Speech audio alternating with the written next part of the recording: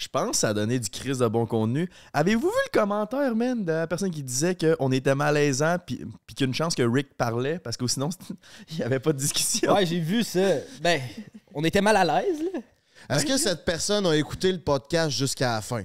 Parce que sincèrement, si tu écoutes le podcast jusqu'à la fin, tu comprends que Rick Hard aime avoir la parole, aime avoir l'attention. Chris est tellement un beau bonhomme que Mm. Chris, euh, il faisait toutes ses stepettes. S'il te plaît, Véro, interromps-moi pas. Et moi, c'est quand que je t'ai dit de tenir le micro. C'est fou, ça. Là. Hey man, ça me faisait capoter. Là, là, ce que vous savez pas, c'est que j'ai fait le montage de ce petit podcast-là. Là. Ça m'a pris trois jours. Là. J'étais sur le bord de virer. Fou, man. On avait trois heures et demie de footage de podcast. J'ai coupé ça en une heure et demie. Hey, il a fallu qu'on coupe en Chris, là. C'est pas tout ce qu'il disait là-dedans. Puis tout ce que j'ai coupé, là, c'est jamais nous. Parce que dès qu'on parlait, je le gardais parce que, Chris, on parlait pas du podcast. On, on avait de la misère à parler 10 secondes. Mais Chris, on parlait de placer le micro. Hey, fais juste attention, faudrait qu'on l'entende. Je fais, ouais, mais attends, je vais le placer de même. Ça a duré 5 secondes notre conversation, puis il était genre. Ouais, Les ça. gars, les gars, les gars! Ici, ici, ici! Mais ça, je pense, c'est une amélioration qu'on devrait faire, nous, c'est quand on soit un invité, de le briefer un peu, de vraiment parler dans le micro. Ben ben puis oui. de... Lui, man, il est tellement arrivé sa slide qu'il a même pas eu le temps si, de dire salut, que c'était parti, mon gars. Parce que là, tu sais, ouais, live, on pull des bons views. Merci tout le monde à la maison en passant. Mais ça reste qu'on est des chadronnets de palourdes. On n'a aucune idée de ce qu'on fait encore. là. Sauf que par exemple, j'aimais moi le vibe un peu Nelkboy qu'on commence le podcast, on jase, puis là l'invité arrive direct, puis vient t'asseoir, ça part. Ben sûr, il a pissé une coupe de fois, il a mangé des sushis, puis il y a eu 15 minutes de délai là, mais ça s'est fait vite quand même. là, tu sais, il est 15 arrivé, on minutes d'un délai? Ben avant Je qu'il arrive, une bonne se tape. 3 heures. Ok, ok.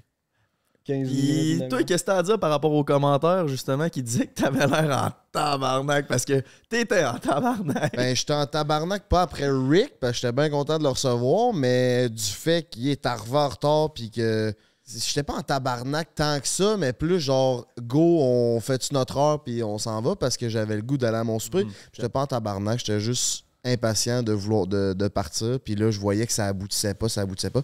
Puis là, le beau-frère ou Jay posait des questions, parce que moi, j'ai à peu près pas posé une question. Eh, Big, il partait sur une chire de réponses qui Eh, avait Big. pas rapport pantoute La première à la séquence. question. Après ces huit pistes, la première séquence, c'est. Ouais, fait que c'est quoi ton vrai nom? Il est parti 20 minutes, mon gars. J'aurais pu demander, puis la route était bonne, il aurait dit le même speech d'après moi, man. Le même, même, même speech. Il l'avait, il l'avait de près dans sa tête. Mais gros shout out à Rick, merci encore d'être passé.